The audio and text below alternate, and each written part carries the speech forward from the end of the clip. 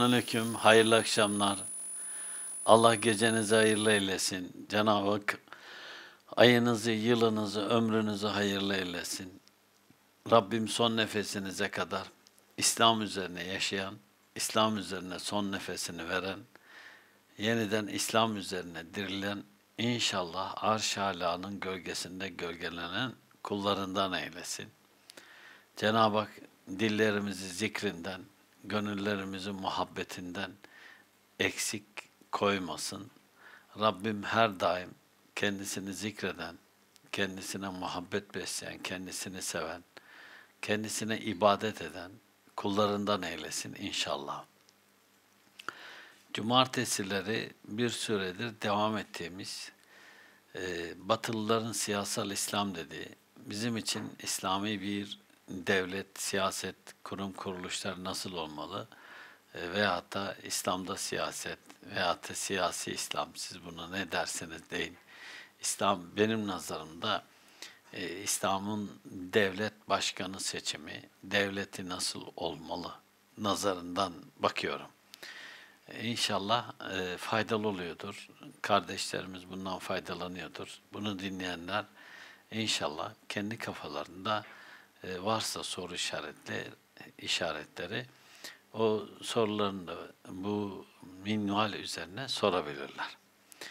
E, şimdi geçen hafta e, o bir soru manzumesi var. Öyle söyleyeyim. Yaklaşık 40 kusur sayfa veya 40 sayfaya yakın. E, zannediyorum 28-29. sayfaya geldik. E, az kaldı artık.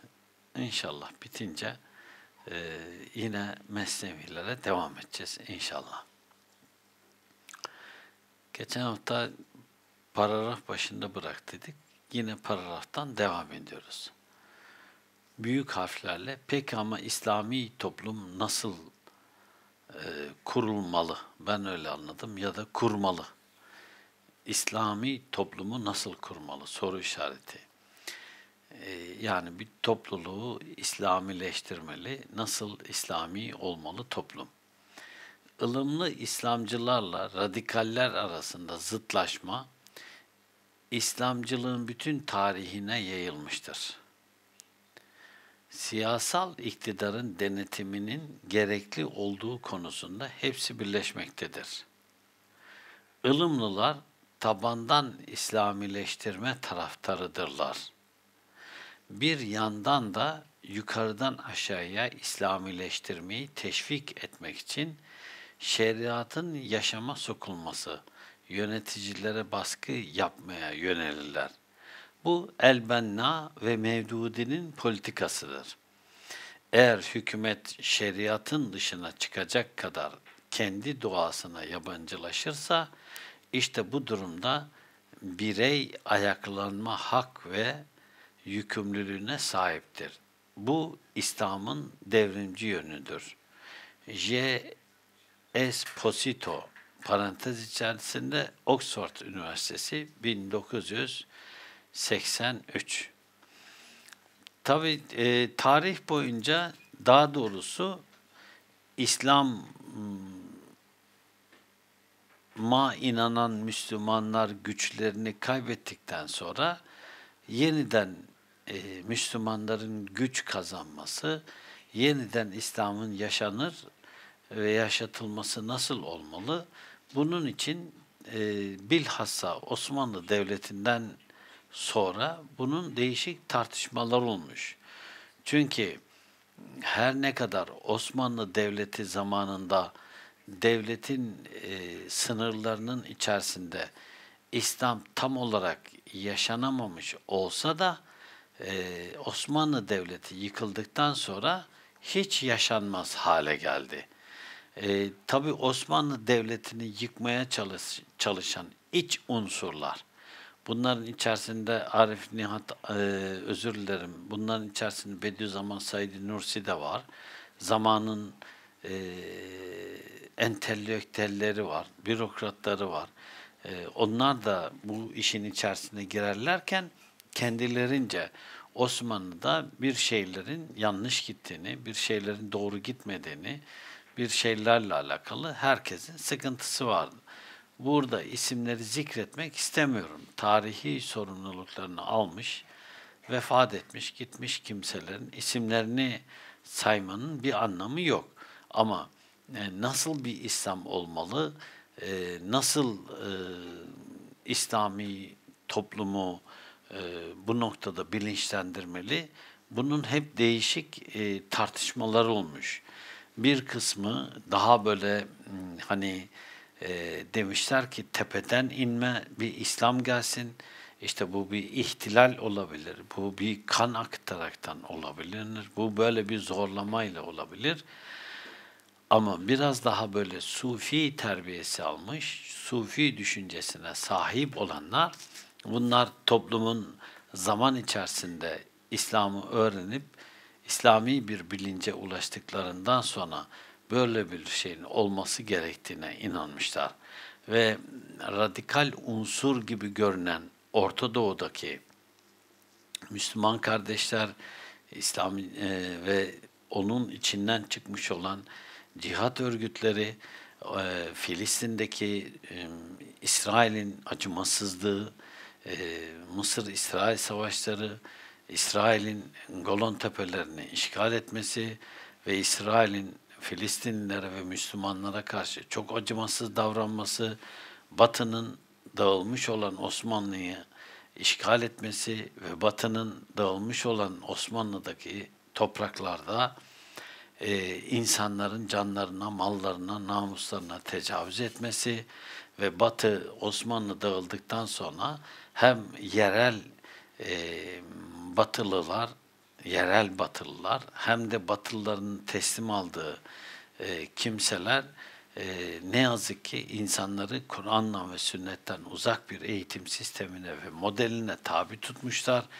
E, Jacoben baskıcı bir laiklik getirip e, hem e, Kuzey Afrika'da hem Türkiye'de e, hem de Orta Doğu'nun değişik ülkelerinde e, her türlü dini e, yani İslam'la alakalı her şeye karşı çıkmışlar, buna savaş açmışlar laiklik adı altında ve laiklik adı altında insanların din özgürlüklerini ellerinden almışlar ve böylece bu baskı altında Müslümanlar kendilerince bir kısım Müslümanlar keskinleşmişler. Tabiri batı diliyle konuşacak olursak radikalleşmişler ve bu radikalleşme ilk önce Filistin'e başlamış. Çünkü İsrail'in acımasız ve hala da devam eden Filistinlileri topraklarından etme, onları katletme, onları öldürme, evlerini yıkma, onları yurtlarından etme, bütün acımasızla, acımasızlığıyla devam edince insanlar oradaki İsrail e, terör devletine karşı mücadele etmek, topraklarını korumak, namusunu, şerefini, haysiyetini korumak, İsrail terör devletine karşı kendisini muhafaza etmek için değişik e, radikal e, düşüncelere, fikriyata haklı olarak e, sapmışlar. Çünkü e, hangi toprağın sahibi olursan ol, eğer ki sana zulmediyorsa ve senin kanını akıtıyorsa, evlerini yıkıyorsa sen de onlarla mücadele etme e, gereğini hissedersin. Bu farzdır çünkü bir Müslüman için. Nasıl Anadolu'yu da işgale geldilerse Anadolu halkı tamamiyetle bu işgale karşı çıkmış, topraklarını, camisini, kutsalını korumak için bütün işgalcilere karşı büyük bir savaş başlatmış ve bu savaştan galip çıkmış ve kendince kendi topraklarında aslında misak-ı milli sınırları değil bu ama ve lakin misak-ı milli sınırlar olmamış olsa dahi kendince bir sınır oluşmuş ve bu sınırda devletini kurmayı başarmış ama devleti kurarken de belki de dış güçler devleti tanzim etmişler. Nasıl kurulması gerektiği ile alakalı e, gibi gibi bir sürü tarihi e, hadiselerler, hadiseler ve olaylar yaşanmış. E şimdi böyle olunca e, yeniden İslam'ın neşvi neva bulması insanların nefsinde e, yeniden İslam'ın e, sokaklarda, şehirlerde yaşanması ve yeniden İslam'ın hukukunun tecelli etmesi için Müslümanlar kendi bölgelerinde, kendi yerlerinde parakende olarak kendilerince bir şey yapmaya çalışmışlar. Ve tabi e, Batı İslam'ın yeniden yaşanması ve yaşatması mücadelesi veren Müslümanlara zaten hemen anında terörist damgası, anında radikal İslamcı damgası vurmakta. Yani radikal İslamcı ile radikal olmayan İslamcı Türkiye'deki yerli unsurlara da baktığımızda onlar için radikal İslamcı, Kur'an'ın ve sünnetin hukuk ve hükümlerinin uygulanmasını isteyenler, radikal İslamcı, Kur'an'ın hüküm ve hukuklarının uygulanmasını istemeyenler ise ılımlı Müslümanlar olarak nitelendiriyorlar. Doğru değil. Nasıl doğru değil? Çünkü bir Müslüman Kur'an'ın bütün ayet-i kerimelerine iman eder ve Kur'an'ın bütün ayet-i kerimelerinin yaşanması ve yaşatılması için mücadele etmekle mükelleftir, yükümlüdür. O yüzden buradaki hani Kur'an nasıl yaşanacak, Kur'an nasıl insanların içerisinde hayat bulacak sorusuna verilen cevaplarda aramalıyız. Bir kısım Müslümanlar demişler ki işte Kur'an'ın böyle yavaş yavaş tedrici bir şekilde öğretilip yaşanmasını beklemeyelim. Evet işte ihtilal yapalım, e, tabiri caizse devrim yapalım ve İslam'ı ülkeye getirelim. Tabi bu bilhassa e, İran'daki Hümeyni devriminden, ihtilalinden sonra bu daha da sıkça görülmeye başlamış ve e, hatta Hümeyni'den sonra Mısır'da e, bu daha da şiddetlenmiş. Böyle olunca da yerel hükümetler bu kimselerin üzerinde, bu toplulukların üzerinde aşırı derecede baskılar yapmış ve baskıların neticesinde insanlar keskinleşmişler. O yüzden ben onları biraz böyle e, radikalizm olarak görmüyorum. Bu İslamileşmek, İslamileşmek veya dindarlaşmak veya da İslam'ı yeniden öğrenmek, yeniden tecrid etmek, yeniden e, Müslümanca bir hayat kurma özlemi bütün Müslümanların içerisinde vardır. Ama bu nasıl icra edilecek, yolu nedir? Bununla alakalı değişik tartışmalar olmuş. Hala da böyle bir ihtilalle olmasını isteyenler var. Ben onlardan değilim. E, benim buradaki durduğum nokta insanların e, tabandan tavana doğru e, İslamileşmesidir ki bu e, Peygamber sallallahu aleyhi ve sellem hazretlerinin yoludur. O tabandan tavana doğru bir e, dinileşme, dindarlaşma, İslamileşmeyi öngördü. Tabi e, burada önemli olan bir nokta var. E, işte e, tepeden inme bir İslamileştirme nasıl olacak ve e, bunu nasıl tecelli ettirilecek? Bunlar tabi e, ayrı e,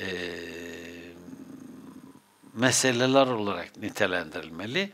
Şurada şunu biraz açmak istiyorum. Hani eğer hükümet şeriatın dışına çıkacak kadar kendi doğasına yabancılaşırsa işte bu durumda birey ayaklanma hak ve yükümlülüğüne sahiptir. Bu da İslam'ın devrimci yönüdür. Bu paragrafı biraz açmak istiyorum.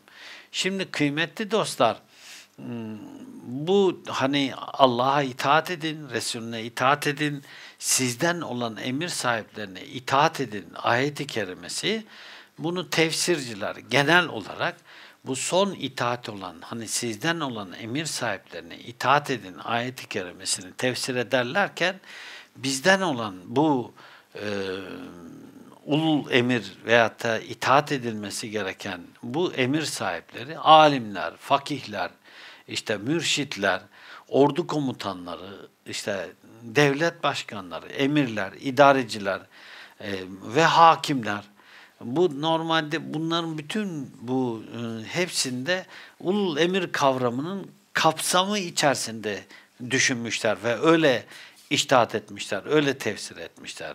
Ve e, gerçekten de bu ayeti kerimedeki ifade e, genel anlamda bir alt kademedeki e, emir e, hani bir alt kademeye emir verme yetkisinde sahip olan herkesi kastediyor. Yani o normalde İslam'a e, göre evin reisi erkektir, e, kadının kocasıdır, çocuklarının babasıdır. O zaman o dahi evin içerisinde ulul emir hükmündedir. Bir iş yerinde bir patron iş yerinde ulul emir hükmündedir. Veya mahkemede bir hakim ulul emir hükmündedir. Herkes onun e, hükmüne boyun eğmek zorundadır. Veyahut da işte e, savaşta bir komutan veya savaşta da olmasa askeri olarak bir komutan ulul emirdir, emir sahibidir. Altındaki, elinin altındakiler ona itaat etmekle yükümlüdürler. Veyahut da fakihler, alimler, tefsirciler, e, bir e, tarikatın veya bir sufi topluluğun başındaki e, üstadlar ulul emir hükmündedir. Ayet-i kerime çünkü kim emretme yetkisine sahip ise onu ulul emir olarak görür. Ve e, hadis-i şeriflerde de e, kavramın e, bu hem e, halife ulul emir hem de e, diğer e, meslek sahiplerini de içine alacak şekilde e, rivayetler bulmak mümkün. Ama e, genel ilki olarak şu vardır. Kur'an ve sünnete aykırı olmayan her konuda e, bu emirlere itaat etmek, e, İslam devletinde yaşayan tüm Müslümanların görevidir. Ve e, bu böyle olmakla beraber bugün hani e, hükümeti hükümete karşı veya ulul emre karşı e, itaat nasıl olmalı ve bu e, itaatin dairesi ne olmalı? Bu e, tartışılabilir, konuşulabilir. Tabi e, bununla alakalı bu sohbeti takip edenler e, bizim genel e, düşüncemizi biliyorlar. Bu genel düşüncemiz nedir? Bir kimse seçilmiş olan devlet başkanına veya da seçilmiş olan hükümete biat eder. İslam, tırnak içerisinde İslami olarak biat eder. Veyahut da bir kimse kendince bir mezhep imamına ve mezhep imamlarının o mezhep içerisindeki fakihlerine biat eder. Der ki ben Hanefiyim, Hanefi e, mezhebinin imamlarına biat ediyorum der kendince ve ibadetlerini ona göre yapar. Bunun gibi veyahut da bir kimse bir üstada biat eder ve der ki ben tasavvufu o üstadın e, önerileri doğrultusunda e, anlayıp yaşamaya gayret edeceğim der, biat eder. Tabi hmm, biat edilene de itaat etmek için biat eden söz verir. Der ki yani ben senin her türlü Kur'an sünnet tarihindeki yapılması gereken, e, söylen edilmesi gereken her şeyi yapacağımı der, söz verir. O yüzden e, beyat devlet başkanına, yöneticilere Allah için yapılır. Ve Allah için yapıl, yapılınca da başka bir gaye, başka bir maksat da gözetilmez. Yani e, tırnak içerisinde hükümete beyat e, veya devlet başkanına beyat, Kur'an ve sünnet iç, içerisinde Allah rızası içindir. Sıkıntı da zaten buradadır. Beyatların tamamı Allah rızası için mi yoksa herhangi bir dünyevi menfaat için mi?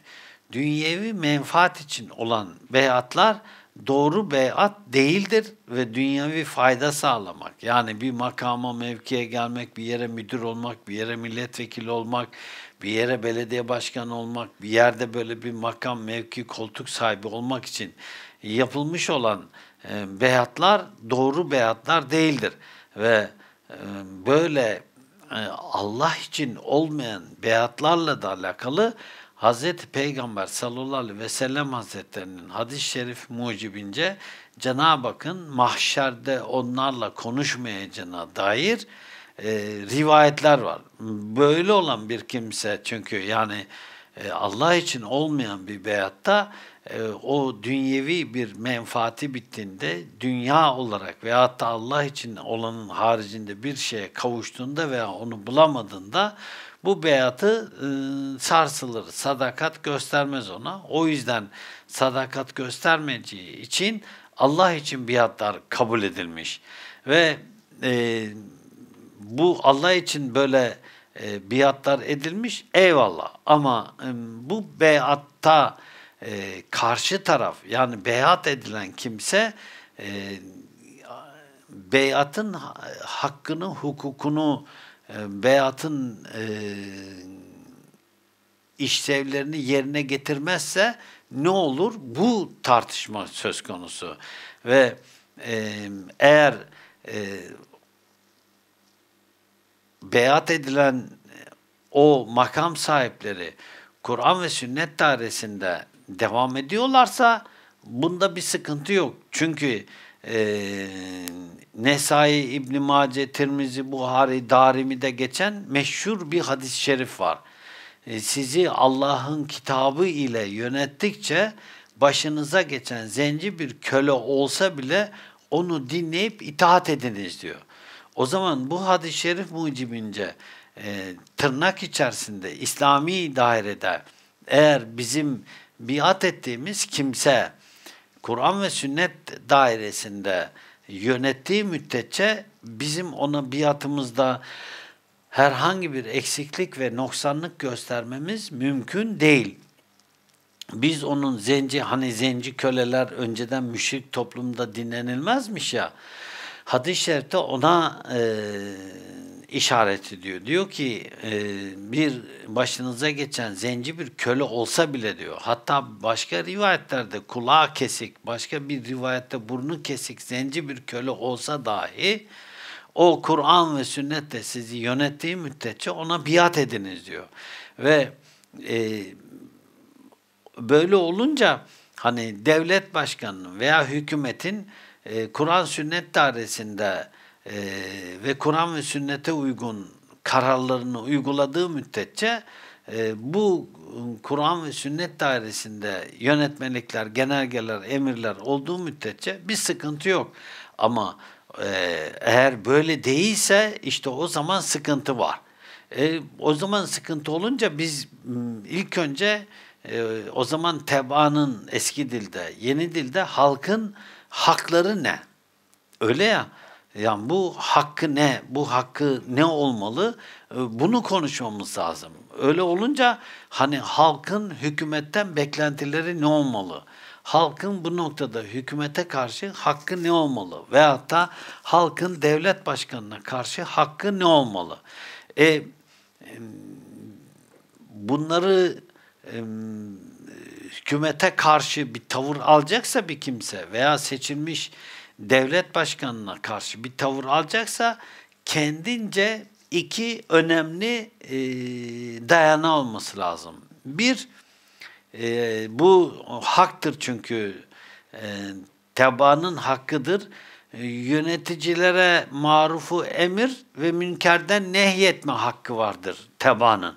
Yani bir yönetici eğer e, Kur'an ve sünnetin dışın e, Kur'an ve sünneti vatandaşlar ona emrederler doğru yola girmesi için ve onun münkerden yani kötülüklerden nehyederler. Çünkü din nasihattır, din nasihattır, din nasihattır diye buyuran Hazreti Peygamber sallallahu aleyhi ve sellem hazretlerine sahabeler sorar kime? Sizin emir sahiplerinize, yöneticilere der. O zaman hatta cihat hükmündedir zalim bir yöneticiye e, Müslümanların ona nasihat etmesi. Bakın zalim bir yöneticiye e, bir Müslümanın, bir alimin nasihat etmesi cihadı ekber olarak görülmüş. O zaman e, eğer ikinci tebaanın hakkı yöneticilere karşı çıkmaktır. Eski dilde huruç etmek. Yani uruc etmek değil, huruc etmek. Heyle. Bu da tebaanın yöneticilere karşı hakkı mıdır? Evet.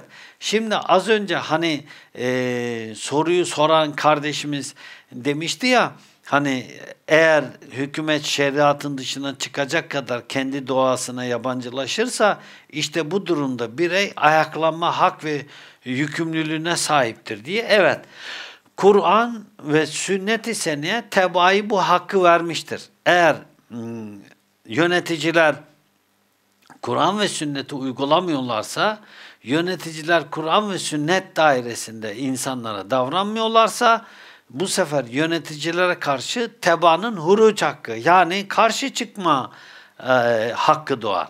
O zaman bu hak e, hangi e, noktalarda geçerli olur, hangi dairelerde geçerli olur? Önümüze de bu çıkıyor bizim. Şimdi aslında bu konu çok geniş. Baktığımızda hadis-i şeriflere, ayet-i kerimelere, işte fıkıhla, akaidle alakalı meselelere ben hafta içerisinde baktığımda bu o kadar çok genişliği içine alıyor ki biz sadece nerelerde nasıl hükümete karşı çıkılır, devlet, devlet başkanına karşı çıkılır bunu konuşmak belki de günlerimizi alabilir. Ben böyle ince ince böyle birkaç maddede bunları toparlamaya gayret ettim. Hakkınızı helal edin. Bunları da toparlarken böyle hadis-i şeriflerden ve Kur'an-ı Kerimlerden e, bazı ayet-i kerimelere bakaraktan bunları kendimce maddelendirdim. Eksiğim, kusurum olabilir, hatam olabilir. Özür diliyorum kardeşlerden. E, eksimiz, kusurumuz varsa e, bana bana ulaşıp bu konuda ne yapmamız gerektiğini, nasıl davranmamız gerektiğini bize söyleyebilirler. Şimdi e, bence maddelendirdiğim maddeleri söylüyorum şimdi. Halifeler veyahut da hükümetler İslam'ın genel kaidelerinin içerisindedir. Allah ve Resulünün hükmünün bulunmadığı konularda istişare etmekle yükümlüdürler. Ve istişare, istişareyi terk ediyorlarsa ve istişare kararlarını uygulamamakta direnirlerse o zaman e, halife azledilme, azledilebilir. Veyahut da hükümet azledilebilir. E, çünkü devlet başkanını seçmekten asıl gaye Allah'ın ve Resulünün hükümlerinin uygulanmasıdır. E, bu hükümler halife tarafından etkisiz hale getiriliyorsa halife azledilmeli. E, İslam'ın hukuku bu ve e, bu m, azledilirken olmayan hükümler hani Kur'an ve sünnette olmayan hükümler var ise, olmayan bir mesele var ise bunun da istişareyle karara bağlanması lazım. Eğer halife bu istişareyi reddediyor ve Kur'an ve sünnete aykırı kararlar alıyorsa o zaman yine azledilir. Ve halifenin e, bu hadis-i şeriflerde de var, fıkıh kitaplarında da var. Bedeninde, sıhhatinde görevini yapmaktan aciz bırakacak şekilde bir aksaklık var ise yine halife azledilmeli. Bununla alakalı bazı padişahların azledilmesi gibi. O padişahlar azledilirken Şeyhülislamlık tarafından azlettirildi. Fetvalarla azlettirildi.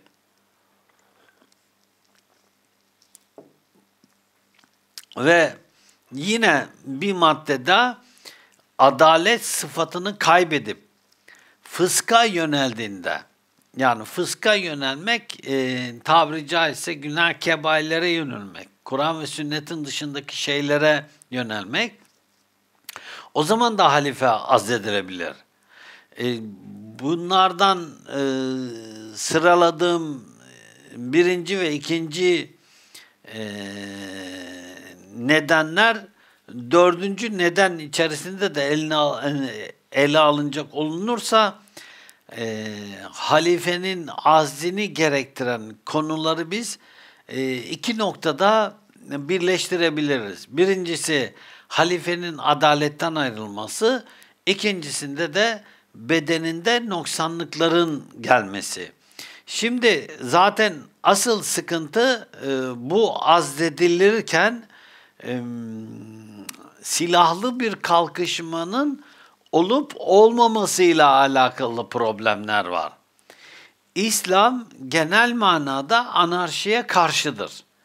Ve eğer bu azle karşı e, bir iç savaş söz konusu olacak olursa İslam e, ve bugüne kadar bütün fakihlerin ortak bir anlayışıdır. Bu ortak anlayışı nedir?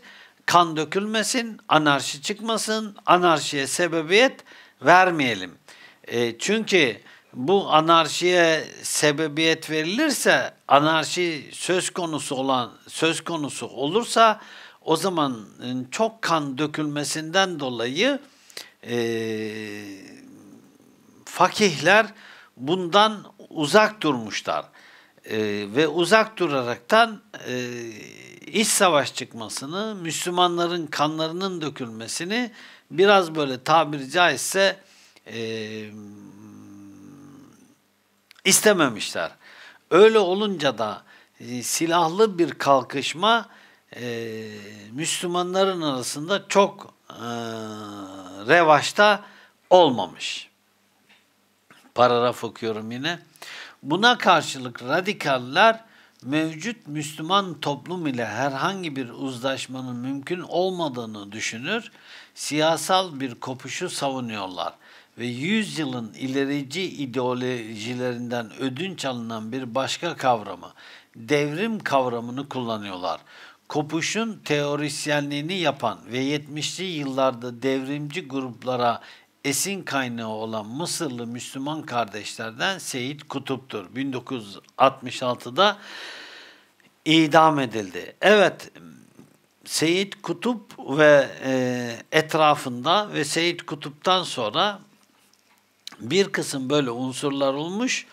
E, bir kısım böyle unsurlar da Müslümanların içerisinde yayılmışlar ve onlar işte e, bunların içerisinden çıkan bazı gruplar e, eğer onlardan değilseniz e, sizi müşrik veya kafir hükmüne sokup bütün herkesi e, küfür e, dairesine sürükleyip bırakmışlar. Allah muhafaza eylesin.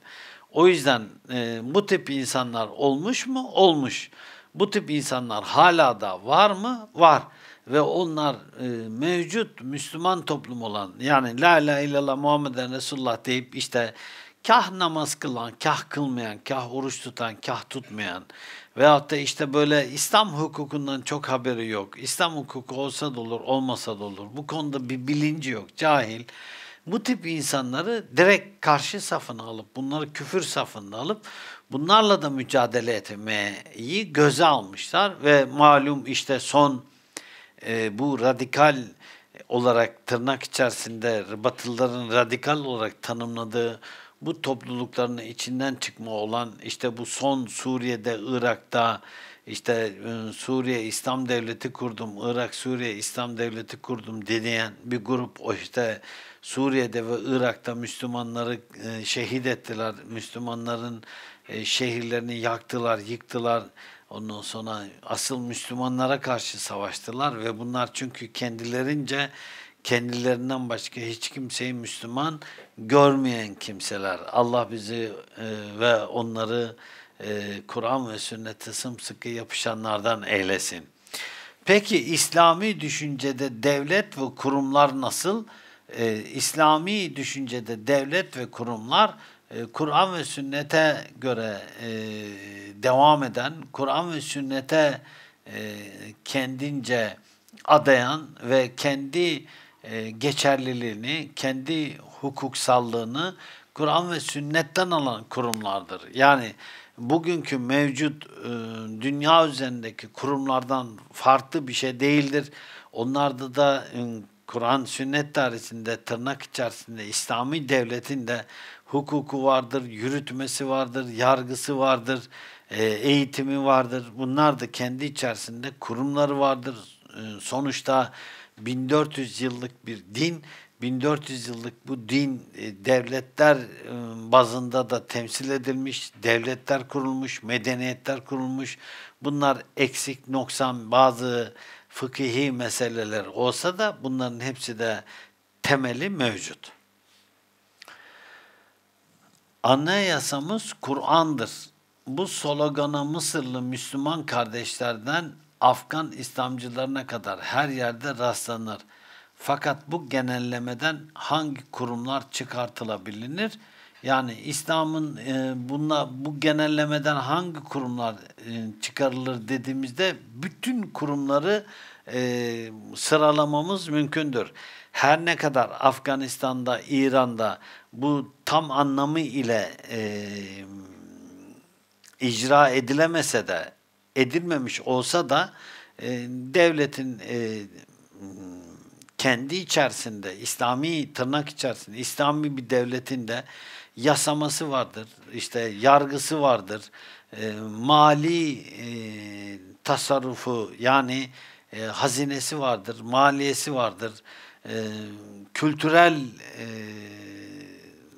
meseleleri halledecek ondan sonra fonksiyonları vardır. E, bu böyle bugünkü e, bizim modern devlet yapısı dediğimiz devlet yapılarından e, daha aktif, daha yönetilebilir, daha e, insanlara e, kendi tebaasıyla barışık bir yönetim sistemi uygulanabilir. Tırnak içerisinde İslam devlet sisteminde çok böyle karışık kurguçuk kargaşa yoktur. Yani 1400 yıllık İslami tecrübeden baktığımızda e, kargaşasız, e, gürültüsüz, daha sade e, ama insanların hak ve özgürlüklerinin e, sağlamlaştığı akıl emniyetinin, din emniyetinin, can emniyetinin, mal emniyetinin, namus, şeref, haysiyet emniyetinin alındığı bir sistem düşünün. Çok e, kargacık burgacık değil veyahut da bu sistemi oluşturan işte maddeleri anayasa maddesi gibi algılanacak olan maddeler belli zaten ve değişken olmayan maddeler. Hani Kur'an değişken olmayan bir anayasa. Öyle olunca insanlar 100 yıl sonra da bir kanunun değişeceğini düşünmeyecekler. Ama şu anda e, görüyorsunuz ki e, insanların önüne getirilen kanunlar 10 yılda miatlarını dolduruyorlar. Yani biz bugün e, Adalet Bakanlığı'nın adaletle alakalı kanun, hüküm ve yürürlüklerine baktığımızda 100 yıl içerisinde belki de her 2-3 yılda bir kanunlar değişmiş, cezalar değişmiş. Bu konuda yapılanların bir öncekinden hiç farkı, e, bir öncekiyle hiç benzeri olmayan şeyler olmuş. Hatta e, bu ülkede biz onu da gördük. Anayasa maddesi, Anayasa Mahkemesi e, meclisin çıkarmış olduğu bir kanunu iptal edip yerine bir kanun idame ettirip kendisi bir kanun idame ettirip malum bu ülkede Refah Partisi'nin kapatılmasını dahi hükmetmişti. O yüzden e, modernitenin e, tasallutu altında olan e, devletlerin hepsinde bu tip kanunsuzluklar ve hükümsüzlükler e, söz konusu olmakta. Bugün için suç unsuru olmayan ve karşılığında e, ceza hukukunda cezası olmayan herhangi bir şey yarın önünüze suç olarak gelebilir ve siz onu işlediniz diye mahkemede mahkemede e, yargılanır ve siz e, ceza yatabilirsiniz. Bunun gibi şeyler de bulmak mümkün. O yüzden İslami devlet dediğimizde o devletin de bütün organları, bütün fonksiyonları hmm, bir şekilde çalışır. Bunu şöyle de örnekleyebiliriz. Yani 600 yıllık bir Osmanlı devleti var. Ondan önce Selçuklu devleti var. Ondan önce Abbasiler var. Emeviler var. İslami devlet modeli olarak baktığımızda Emevilerden önce dört halife dönemi var. Dört halife döneminden Hazreti Peygamber sallallahu aleyhi ve sellem hazretlerinin dönemi var. Biz bu dönemlere baktığımızda devletin bütün fonksiyonları çalışmış. Devlet bizatihi bütün e, her dairede ihtiyaçlara cevap vermiş. O yüzden yani İslami devlet dediğimizde İslami devleti konuştuğumuzda o zaman e, her türlü halkın ihtiyacını karşılayacak devletin fonksiyonları hep var olmuş. İslamcı teorisyenlerin büyük bir çoğunluğunda iki kavram öne çıkıyor. Yönetici, emir, danışman konseyi, şura. Peki emiri kim belirler? Soru işareti. İslami literatürde emirin belirlenmesinin somut usulleri ve emirin iktidarının kapsamı ve sınırları konusunda söylenen azdır. Oylama ve seçim birçok İslamcıya İran istisna tutalım, ümmetin birliğini zayıflatan, yalnızca Allah'tan asıl olan bir şeyi nisbileştiren, insanileştiren bir düşünce gibi görülür. Tabi emir nasıl seçilecek? Bu e, işin doğrusunu söylemek gerekirse bizim önümüzde e, örnekler var. Bu örneklerden e, ilk örneğimiz Hazreti Peygamber sallallahu aleyhi ve sellem hazretleri. Hazreti Peygamber sallallahu aleyhi ve sellem hazretleri hem peygamber idi, Medine-i Münevvere'de aynı zamanda devlet başkanıydı. O yüzden Hz. Muhammed Mustafa sallallahu aleyhi ve sellem hazretleri Mekke döneminde bir devlet başkanlığı vazifesi yoktu. Ama Medine-i Münevvere'ye hicret ettiğinde peygamberliğinin yanına bir de devlet başkanlığı vazifesi çıktı. Ve peygamberlik görevini yanı, yanı sıra da devlet başkanlığında şahsında topladı. Bu nedenle Hz. Peygamber sallallahu aleyhi ve sellem hazretlerinin hayatında e, kendi elleriyle gerçekleşen bir İslam devleti var. Ve bu İslam devletinin ilk başkanı da Hazreti Muhammed Mustafa ve Hazreti Peygamber sallallahu aleyhi ve sellem hazretlerinin döneminde bir halife nasıl seçilecek, nasıl seçilmeli böyle bir ibare söz konusu değildi. Ve Hazreti Peygamber de sallallahu aleyhi ve sellem hazretleri de kendisinden sonra gelecek olan halifeyi açık bir şekilde söylememişti. Bunu e, Şia'nın Hazreti Ali Efendimizle alakalı olan e, söylemlerini parantez içerisinde kenarda tutuyorum. Şia'nın bu konuda değişik söylemleri var biliyorsunuz. O yüzden kenarda tutuyorum. Ve Hazreti Ebu Bekir halife seçilince kadar olan kısa dönem içerisinde halife seçimiyle alakalı değişik görüşler çıktı. Mesela Hz. Ebu Bekir radıyallahu anh hazretleri seçilmezden önce Ensar kendi arasından bir halife seçmek istedi. Öyle olunca muhacirler de kendi aralarından bir halife seçimiyle alakalı bir kıpırdanma oldu. Bir kısmı e, Hazreti Ali Efendimiz'e halife olmasını istiyordu sahabelerden. Bu tabiri caizse e, muhacirler bir kısmı Hazreti Ali Efendimiz'e, bir kısmı Hazreti Osman'a gitti, bir kısmı özür dilerim Ömer'e gitti, bir kısmı da Hazreti Ebubekir Efendimiz'e gitti. Baktılar ki bilhassa Hazreti Ömer radıyallahu anh hazretleri bu meselede keskin bir iştihada sahip. Çünkü Mekke müşrik devletinde önemli vazife almış bir kimse Hazreti Ömer Efendimiz. Devleti, devletçiliği bilen bir kimse. Muaviye de aynı. Muaviye de müşri, müş, e, Mekke müşrik devletinde e, üst düzey yöneticilik yapmış bir kimse. Böyle olunca Hazreti Ömer Efendimiz hızla Hazreti Ebu Bekir Efendimizin adaylığını ortaya çıkarıp Hazreti Ebu Bekir Efendimiz halife seçildi. Hazreti Ebu Bekir Efendimiz de halife seçilirken tabiri caizse seçimle geldi Hazreti Ebu Bekir Efendimiz ve seçimin içerisinde işte aşere-i mübeşşere vardı. Hızla seçildi. Hızla seçilerekten görevini yerine getirdi. Ve e, Hz. Ebubekir Efendimizin seçilmesiyle de sahabenin içerisindeki anlaşmazlıklar hemen hemen son buldu. Herkes Hz. Ebubekir Efendimizin etrafında toplandı. Hz. Ali radıyallahu anh hazretler hariç. O da 6 ay sonra biat etti ona. E tabi e, Hazreti Ebu Bekir Efendimiz'den sonra Hazreti Ömer Efendimiz'i aşire-i mübeşşere seçti. Ondan sonra Hazreti Osman seçildi. Sonra Hazreti Ali radıyallahu anh hazretleri seçildi ve e, Hazreti Hasan Efendimiz, Hazreti Ali Efendimiz'den sonra e, 6 aylık kadar bir şey halifelik yaptı. Ardından Muaviye adına geri çekildi. Ama Muaviye'ye de şunu söylemişti. Demişti ki senin adına geri çekiliyorum. Senin oğlun adına değil.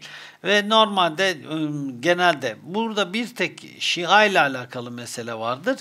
İşte Şia e, halifeliğin Hazreti Ali Efendimiz'e vasiyet edildiğini, işte Hazreti Peygamber sallallahu aleyhi ve sellem Hazretleri'nin böyle bir vasiyet yazdığını ama sahabelerin bu vasiyeti ortadan kaldırdığını ve bu vasiyete uymadığını, bundan dolayı da işte bütün sahabeyi küfür ehli gibi gören e, Şia olduğu gibi Hazreti Ebu Bekir, Ömer, Osman efendilerimiz de küfür ehli gören sahabeler hatta su içerken lanet olsun Ebu Bekir'e, Ömer'e, Osman'a, Ali'ye, Ayşe'ye deyip lanet okuyup da su içen e, Şia dahi var. Böyle olunca buradaki bu kendilerine ait olan bu meseleyi halifelik seçimiyle alakalı e, e, konunun içerisine almak istemiyorum ve e,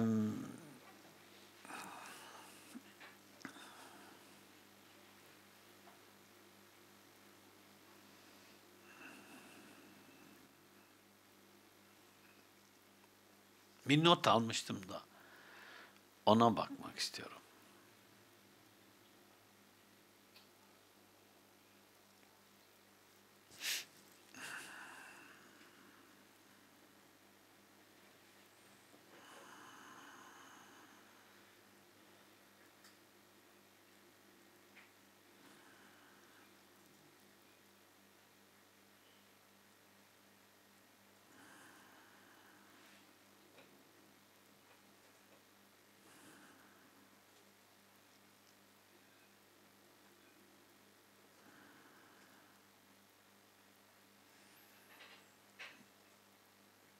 Baya baya notlar almışım. Hakkınızı helal edin. O notların içerisinden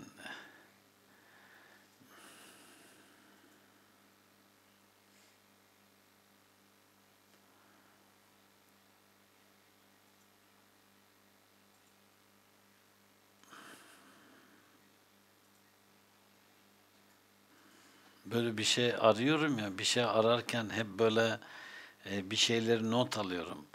Ondan sonra kendimce de e, bunları böyle e, not alırken de Allah affetsin konu uzamasın diye e, şey yapmıyorum. E, söylever şunu. E, not almıyorum.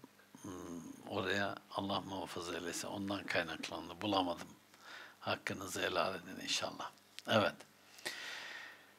Emir arayışı çoğu kez onun göstermesi gereken niteliklerin tasvirine indirgenir. Bu açıdan siyasal İslam'ı modern bir anayasal çerçeve içine sokmak kaygısını hep taşımış olan Mevdudi'ye göre siyasal yönetici şu koşullara cevap vermelidir. Müslüman, erkek, yetişkin, sağlıklı, hicret etmiş yani yozlaşmış bir toplumdan ayrılmış Allah'tan korkmak, bilgili olmak, göreve aday olmamak. E, bu normalde e,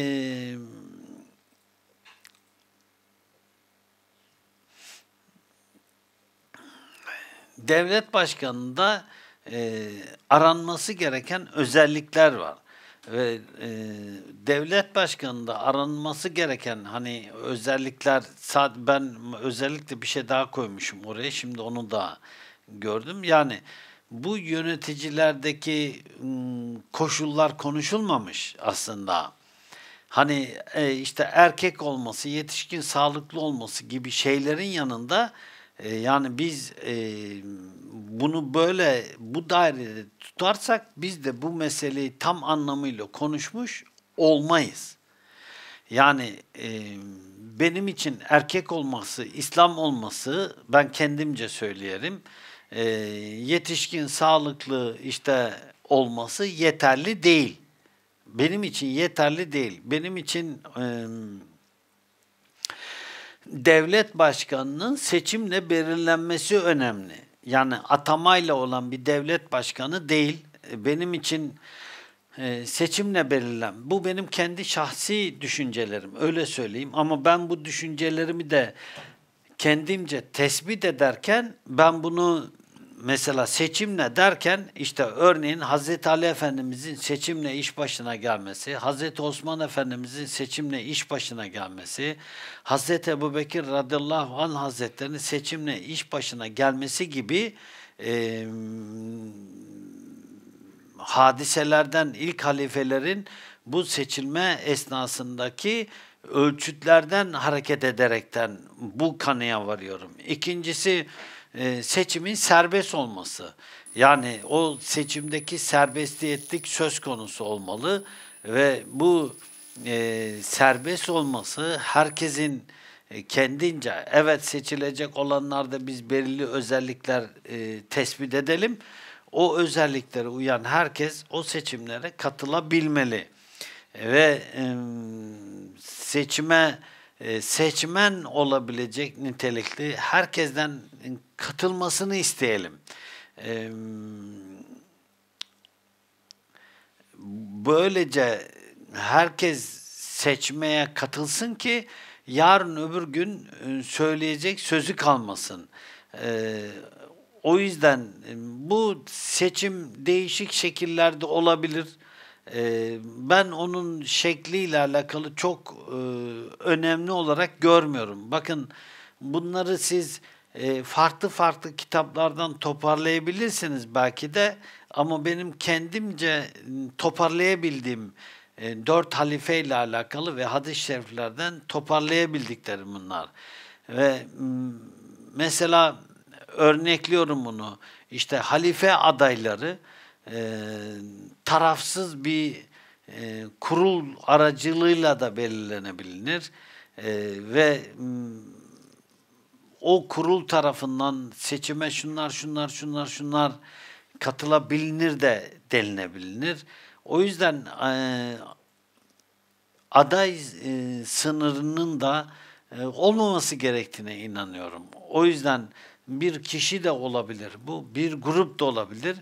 E, ancak adaylarda halife olma e, şartlarına e, taşımaları gerektiğine inanıyorum.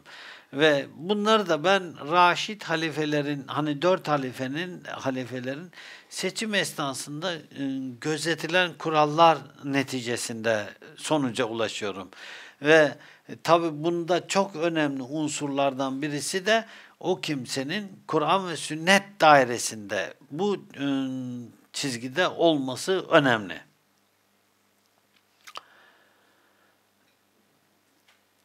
Ali Merad'a göre İbni Badis açısından en iyi çözüm aydınlanmış ve sorumlu kişilerden oluşan bir meclisin cemaat-i müslüminin yardım ettiği adil bir şeftir, imamdır.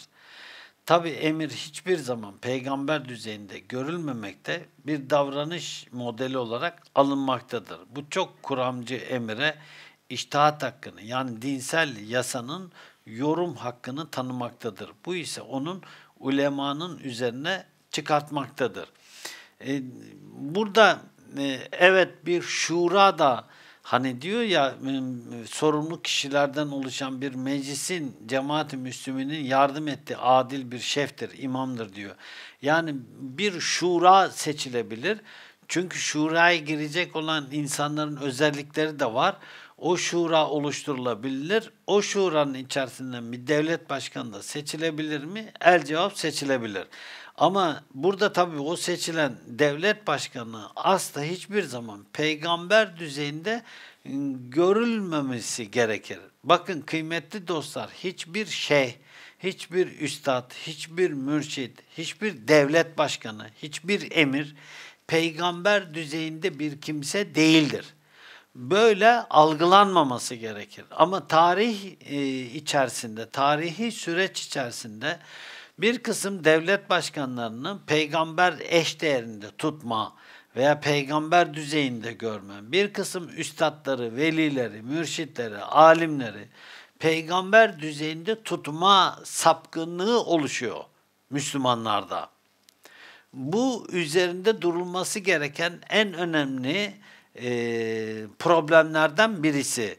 Ya bizler Müslümanlar bir e, devlet başkanını veyahut da bir alimi veya bir e, üstadı peygamber düzeyinde görmeye görme sapkınlığında bulunabiliyoruz veyahut da bir kimse kendini peygamber düzeyinde görme veya gösterme sapkınlığına düşebiliyor. Allah muhafaza eylesin. O yüzden tarih boyunca bu tip insanlar ve bu topluluklar görülmüş mü? Evet cevap görülmüş. Şimdi bir topluluğun başındaki emir el müminin konumundaki bir kimsenin iştahadı. Buradaki e, devlet başkanı o yüzden tabiri caizse tırnak içerisinde Kur'an ve sünneti iyi bilmeli dememin sebebi o.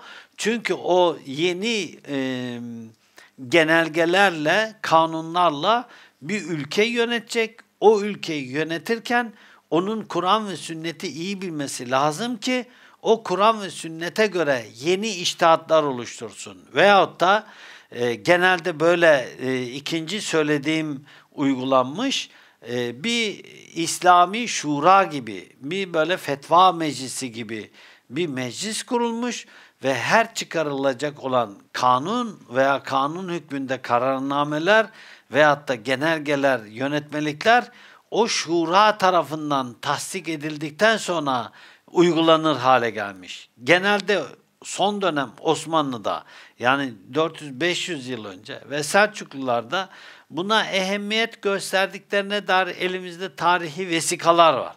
O yüzden onlar bir kanun çıkaracaklarında bir e, yönetmelik e, çıkaracaklarında e, fetva meclisine, fetva merciine sormuşlar ve öyle e, yönetmelik çıkarmışlar, kanun çıkarmışlar.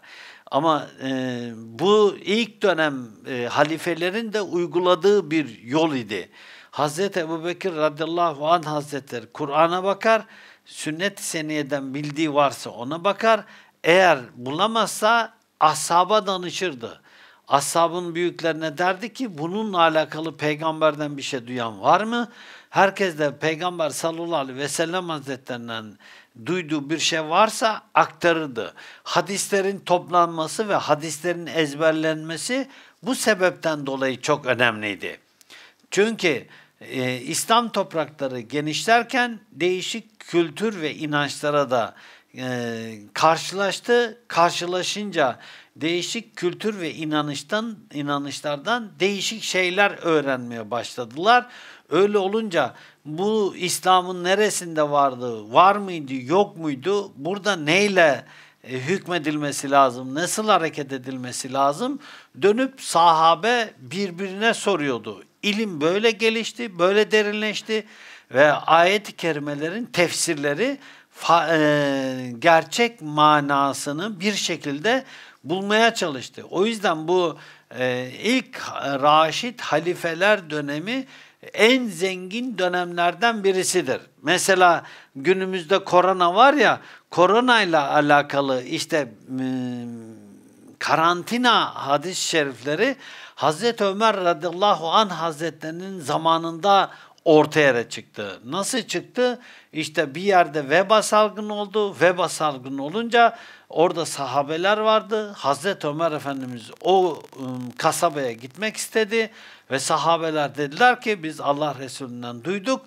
Orada salgının olduğu bölgeden hiç kimse dışarı çıkmasın. Oraya da hiç kimse girmesin hadis-i şerifini. Biz öğrendik dediler ve Hazreti Ömer radıyallahu an hazretlerini emir el müminin engellediler. Bu hadis-i şeriflerle.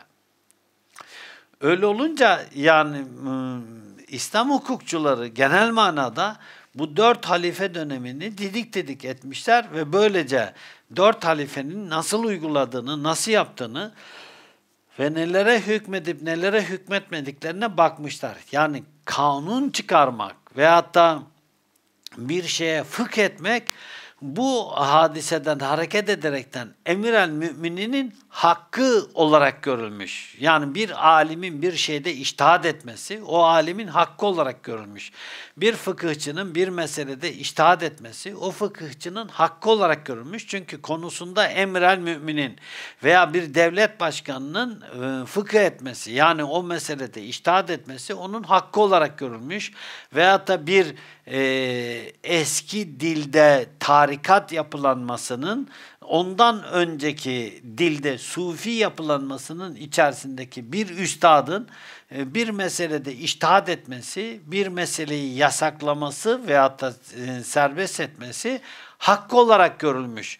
Ve bu hatta öyle bir hadis olmuş, Kur'an ve sünnetin yasaklamadığı bir şeyi geçici olarak yasaklayan e, halifeler ve yasaklayan fıkıhçılar olmuş. Bu neden kaynaklanmış? Orada bir zarar görmüşler. O zararı gördükleri için Kur'an ve sünnetin serbest ettiği bir şeyi dahi o bölgede o insanda zararlı olacak diye orada yasaklamalar olmuş. Böyle olunca e, Raşid halifelerin uygulamaları e, İslam dünyası için çok değerli olmuş e, ve onlar veliül emir olarak e, müminlerin kendilerine itaat etmelerindeki yükümlülüklerini e, ve e, iyi tespit etmişler. E, İslam'ın özünü iyi anlamışlar ve mm, bu mm, iştihatlarıyla da Müslümanların önlerini açmışlar. Mesela e, aklıma geleni söylüyorum şimdi. Hazreti Ebu Bekir radıyallahu anh hazretlerinin ilk savaşı zekat vermemek için direnen e, ve e, onlara karşı savaş kararı alması, e, bunun yanında Hazreti Ömer Efendimizin halifeliğinde e, Irak toplar, topraklarıyla alakalı e, görüşleri, düşünceleri, iştahatları ve mesela Hazreti Ali radıyallahu anh hazretlerinin özür dilerim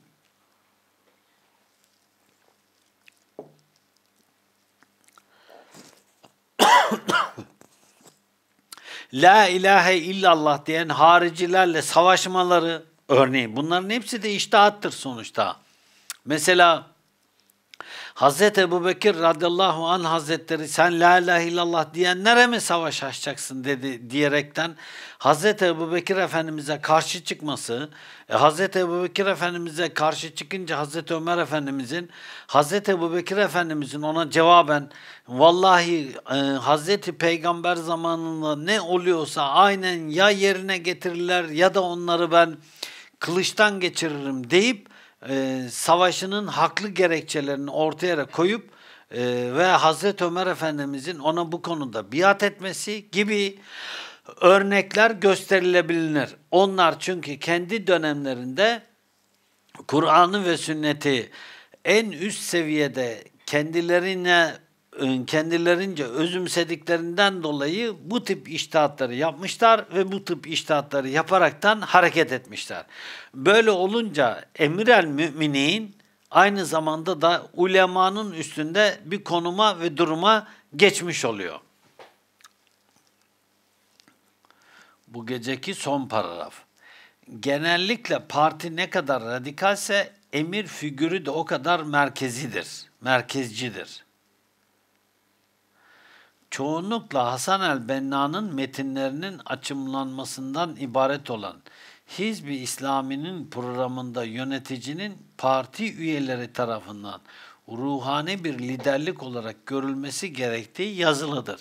Zaman zaman işte bunlar e, böyle e, görüldüğü zamanlar olmuş. Böyle ruhani bir lider olarak görüldüğünde de değişik sıkıntılar çıkmış. O değişik sıkıntılar çıktığında da bugün İran'da yaşandığı gibi Allah muhafaza eylesin e, problemlerin önü arkası kesilmemiş. O yüzden partinin radikalli radikal olup olmaması, seçilen halifenin radikal olup olmaması değil, e, seçilenlerin ve onları seçenlerin Kur'an ve sünnetin ne kadar iyi anlayıp ne kadar iyi uygulayıp uygulamadıkları bence önemli. Allah bizi Kur'an ve sünnete sımsıkı yapışan kullarından eylesin inşallah. Önümüzdeki cumartesi gün 32. sayfadan devam edeceğiz. E, konuyla alakalı e, ilgililere duyurulur inşallah. Şimdi Allah izin verirse inşallah sorulara geçeceğiz. Cenab-ı Hak nasip ederse sorularınızı da inşallah e, kısa bir zamanda bitirip geceyi sonlandıracağız. Şimdi korona bittiği için e, tahmini söylüyorum bunu. E, sohbete devam e, izleyenlerde bir düşüş söz konusu olur. Çünkü yasak ortadan kalktı. Yasak ortadan kalkınca da insanlar işine gücüne oraya buraya gitmiş olabilirler. Tahmin ediyorum öyleler. Ondan sonra benimki bir tahminden ibaret hakkınızı helal edin. Ee, ne olursa olsun biz inşallah e, Allah Allah'tan bir şey gelmezse önümüzdeki e, hafta ayın 13 oluyor. Allah izin verirse inşallah 13'ünde bu konuya devam edeceğiz.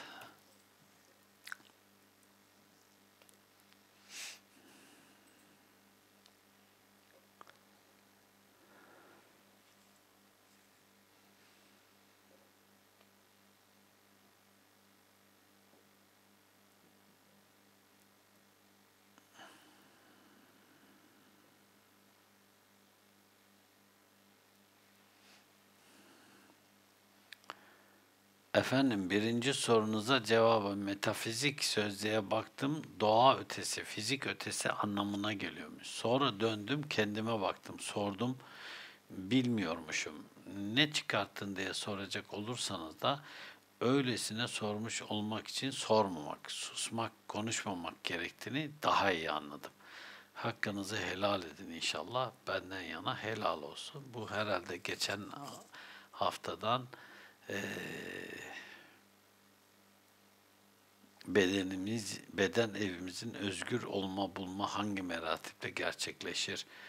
Bununla alakalı soru soran kardeşimiz bunu yazmış. İki, kul hakkı bile isteye maddi zararı uğratmak haberi var veya yokken değeri olan para veya altın vesaire gibi almış ya da çalmış olmak. Ancak hatadan dönmek istediğinde tövbe etse fakat hakkına girdiği kişilerin nerede olduklarını bilmediği için helallik almadan değerince ödemek istese nasıl olur?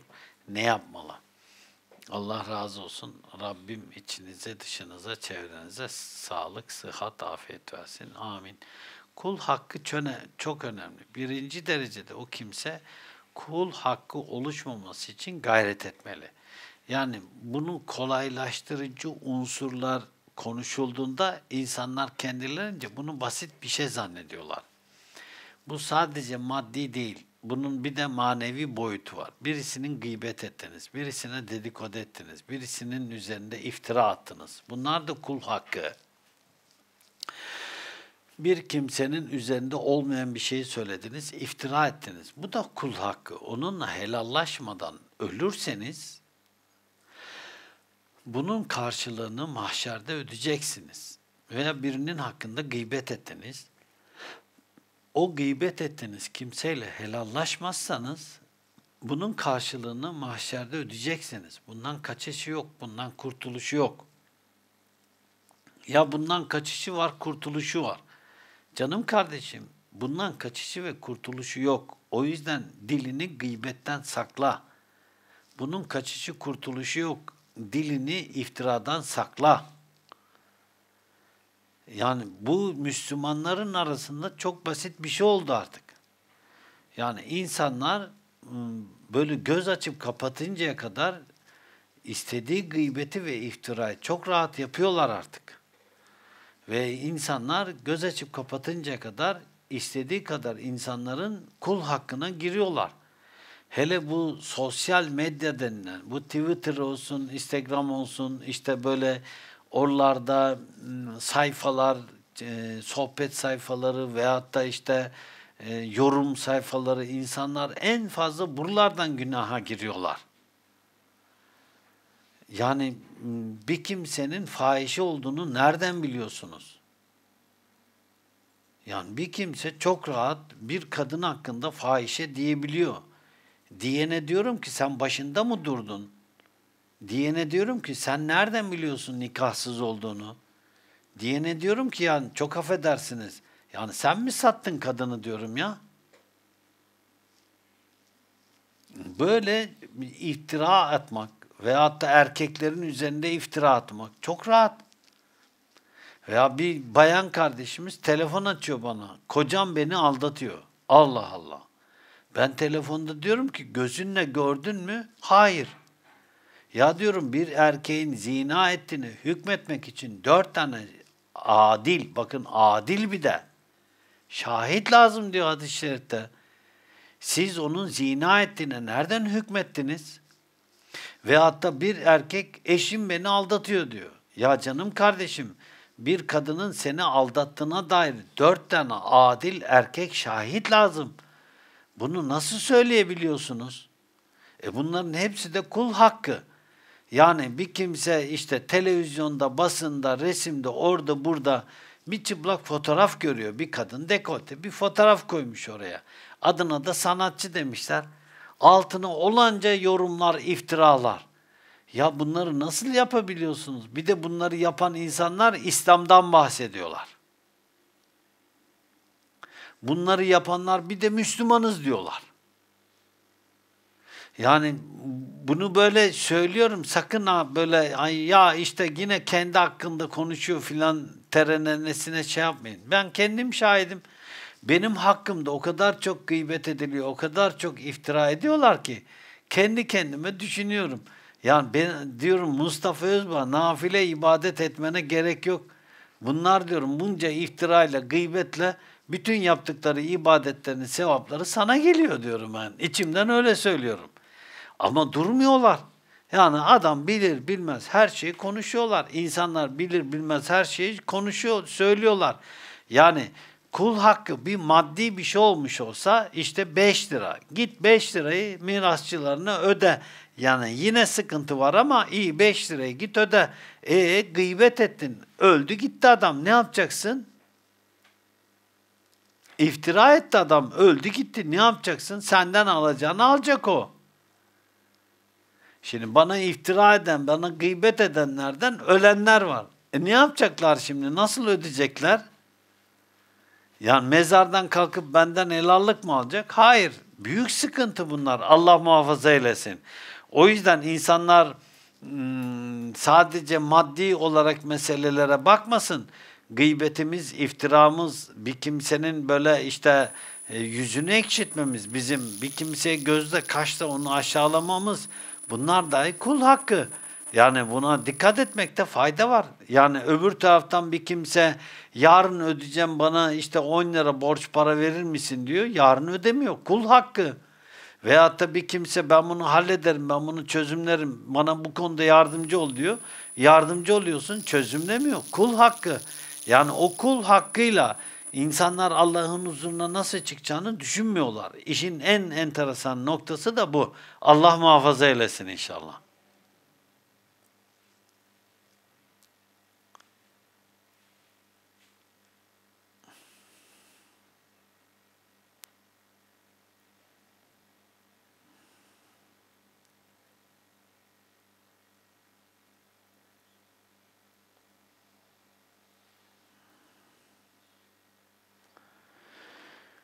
Canım kardeşlerim, bu e, telefon numarasına böyle işte internette dolaşan işte örnekliyorum. Ne güzel bir dua Allah karşımıza haddini, kendini ve edebini bilen güzel insanlar çıkarsın. Amin. Bunu neden yazdınız, gönderdiniz şimdi? Allah yesin. Selamünaleyküm. Allah iyiliğinizi versin. Amin. Türkiye Darül Harp midir? Bu konuyla alakalı son Şeyhülislam'ın yani Osmanlı'dan kalma son Şeyhülislam ve şeyin ne o e, Türkiye Cumhuriyeti'nin ilk e, Diyanet İşleri Başkanı e, aklımda kaldığı kadarıyla Mustafa Sabri Efendi olması lazım. Onun Türkiye'nin Darül Harp olduğuna dair fetva verdiği söyleniyor. Fetva vererekten hicret ettiği söyleniyor. Zaten Türkiye Darül İslam'dır diye hiç kimse diyemez.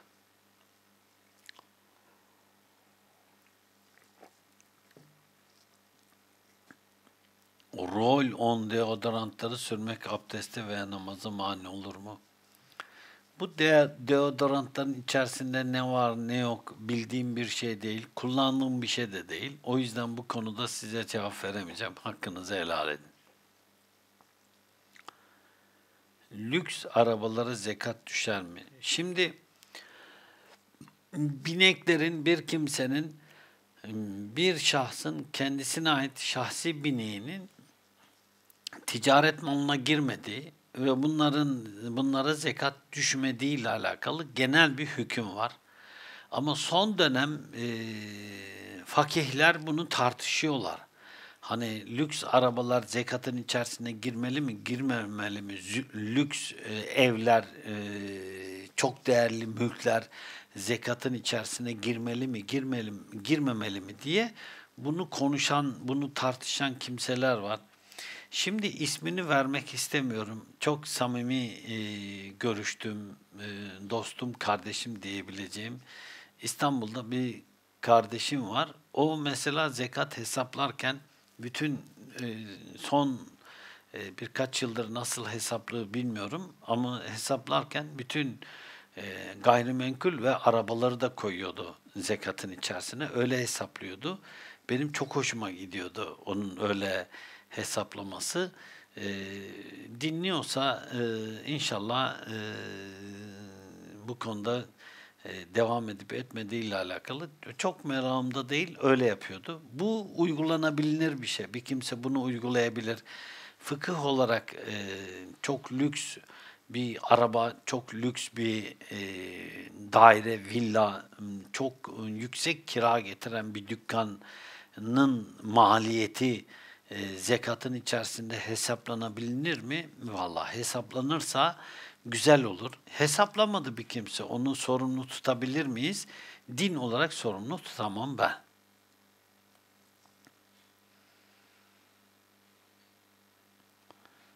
Kamerun'a selamlar yine.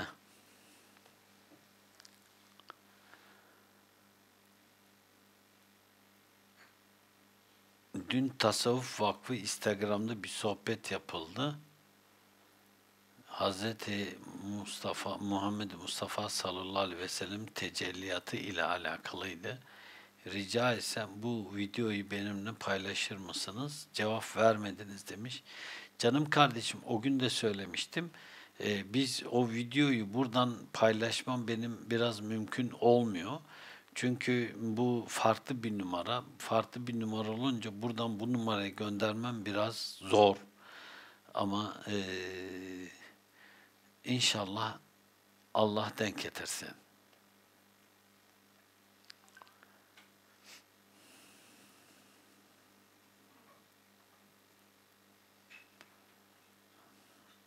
Selamünaleyküm. Ben Bulgaristan'dan yazıyorum. Bütün kardeşlerimize selam ediyoruz. Bulgaristan'da ders yapan kardeşlerimiz var hamdolsun. Orada da bir Zakir kardeşimiz var. O Zakir kardeşimiz Bulgaristan'da ders yapıyor. Böyle birkaç şehire gidiyor orada.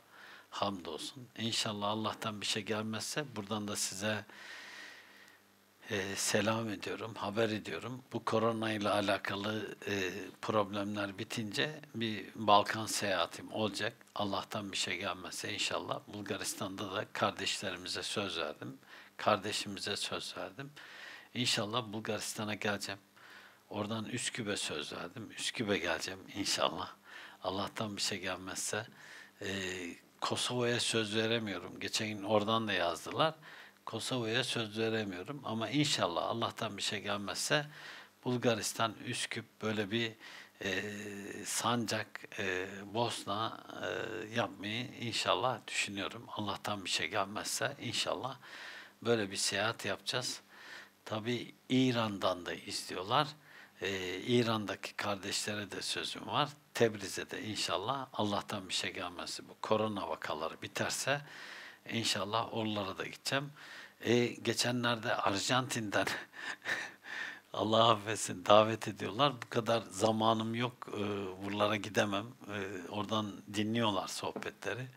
Kanada, Arjantin, Brezilya. Allah hepinizden razı olsun. Kamerun'dan e, Kamerun'a kadar Allah razı olsun hepinizden de. Ama e, bu kadar çok e, yere gidebileceğime inanmıyorum. Buna zamanım çok olmayabilir ama inşallah Bulgaristan'a geleceğim. Allah izin verirse inşallah.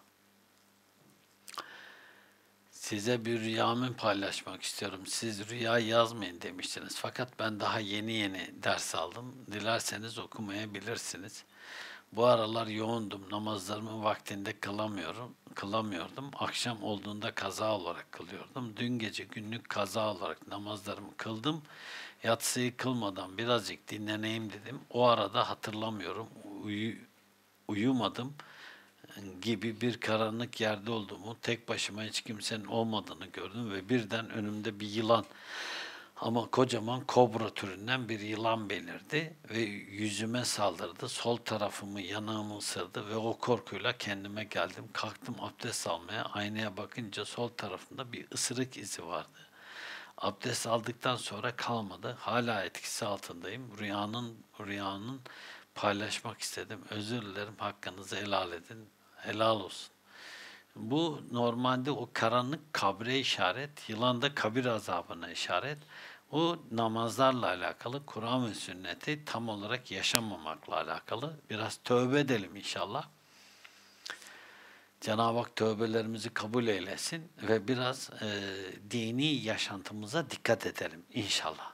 Rabbim muhafaza eylesin.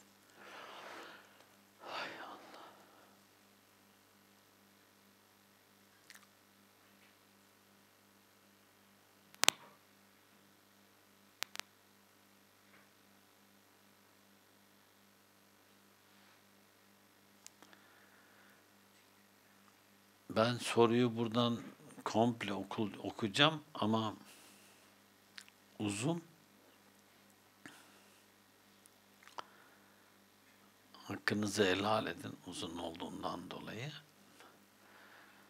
İlahiyatçı Mustafa Öztürk, Kur'an'da Allah'ın dilinden lanet eksik olmuyor.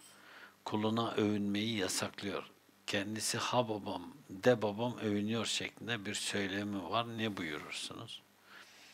Allah hidayet eylesin. Ne buyuralım? Allah ona Kur'an ve sünnete e, dost doğru iman edip dost doğru yaşamayı nasip eylesin. Son zamanlarda bazı kesimler İslam'ın puta tapmayı yasakladığını, lakin haccın da puta tapmak olduğunu, namazın da bu ritüele girdiğini söylüyorlar. Sayı olarak ciddi bir kesim de bunları destekliyor. Bu hususta ne buyurursunuz? Normalde insanlar sapkınlıklar, sapıklar hiç eksik olmadı dünya üzerinde. Yine eksik olmayacak. Bunlar da o sapkınlardan, o sapıklıklardan, sapkınların sapıklıkları bitmez.'' O yüzden biz her sapkının sapkınlığına cevap aramaya kalkarsak biz dinimizi yaşamaktan, dinimizi öğrenmekten uzak dururuz. Yasal bütünlüğe tehdit içeren hal ve davranışlar anayasal düzeni bozmaya çalışmak suçlamasıyla yargı önüne çıkartılıyorken vatandaşın din ve vicdan hürriyetini yasal olarak üstlenen devlet neden bu İslami inanç ve hadis sünnet bütünlüğüne karşı işlenen hal ve davranışları bu yasa kapsamında e, korumuyor ya da koruyamıyor. Yani e, bugünkü mevcut devlet sisteminin e, dini koruma, dini kollama adına bir şey yapması zaten layıklığa aykırı. İslamiyet'te bir kişiye, bir simgeye, taşa, mermere tapmak var mıdır? Böyle bir şey yok. E, geçen perşembe dersimiz şirkle alakalıydı. Bunların hepsi de şirke düşür, düşürür insanı. Allah muhafaza eylesin. Hac ziyareti Arapların İslam öncesi putperest bir ritüeliydi. Hayır, e, İbrahim Aleyhisselam'dan itibaren hac e, ibadeti vardı. Peygamber sülalesinin Kerbela'da öldürülmesiyle sonradan Müslüman olmuş hac ziyaretinden para kazanan Mekke müşrikleri tarafından Müslümanlığının gereği diye dine sonradan sokuldu. Tekrar bu yalancılıktan başka bir şey değil. Ee, Kerbela olayıyla hac ibadeti ayrı şeyler. Hazreti Peygamber sallallahu aleyhi ve sellem Hazretleri kendi sağlığında hac yaptı ve Hazreti Ebubekir, Ömer, Osman zamanında da hac ibadetleri yapıldı. Hazreti Ali radıyallahu anh Hazretleri zamanında da hac ibadeti yapıldı. Kerbela bundan sonra bir meseledir. O yüzden hac ibadeti İbrahim'den itibaren yapıla gelen bir ibadet. Bu putperestliği hala Müslümanlık zannetme yanılgısı insanların Kur'an'ın ve peygamberin yolundan ayrılıp putperestliğe dönmeleriyle İslam toplumlarının bugünkü sefaleti mi olmuştur, oluşmuştur. Hiç alakası yok. Şeytan diye taşı taşlama ilkelliğini gösterip bu çağda hala bunu din ve dinin gereği zanneden aklı gelişmemiş, bilime sahip olmayan toplumlar bilimde gelişmiş ülkelerin ancak uçağı uşağı olmazlar mı çağımızda?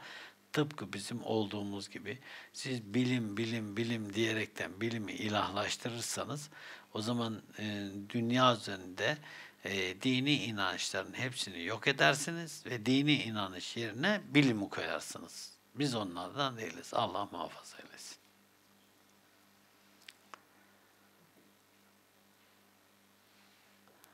Selamünaleyküm. Ben Hollanda'dan Şükren Şükran Akkanoğlu. 2016'da Karabaşi Tekke'ye gelip sizden ders aldım elhamdülillah.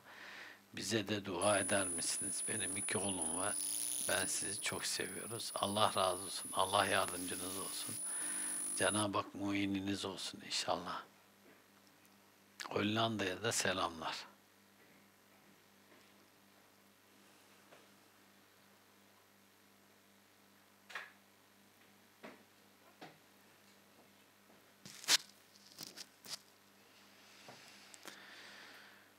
Selamünaleyküm. Bir işveren olarak kardeşlerimle personel alırken veya çıkarlarken o kişi hakkında eksiğini ve artısını değerlendirmemiz gerekiyor. Mesela bu çok yalan söylüyor, bu gevşektir, bunu beceremez, eli çok ağırdır, becerikli değildir gibi sözler söylemek zorunda kalıyoruz. Bunlar da gıybet midir? Bunlar gıybet statüsünün içerisine girmiyor. Sebebi şu, bir iş yerinde o kimsenin performansı analiz ederken ahlakı da analiz ediliyor. O iş yerine uygun olup olmadığına karar verilecek. Bu şuna benziyor. Hani bir bayan geldi işte benim filanca ve filanca istiyor dedi. Öyle deyince onun birisi için onun eli vuraktır dedi. Ama işte hali vakti yerindedir. Öbürkü vurak değildir ama hali vakti yerinde e, değildir dedi. Bu buna benziyor.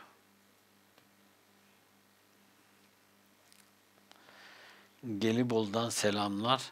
Mevlevihane programı olmayacak mı? Siz gelmeyince Mevlevihane'nin bahçesi içler acısı, otlar, çöpler, duvarlarında otlar bitmiş, merdivenleri, kuş pislikleri, bahçesinde içki şişeleri, otlar, ekin tarlası gibi bir virane olmuş. Ne yapmalı, ne etmeli, kime gitmeli? Kaymakama mı gitmeli? Bugün bilemedim. Kendi gücümün yettiği kadar kendim mi yapsam bilemedim. Siz gelmeyince sahipsiz kalmış. Estağfurullah her şeyin bir sahibi vardır. Allah yardımcınız olsun inşallah. İyi bir kaymakam var orada. O bununla ilgilenir gibi geliyor bana.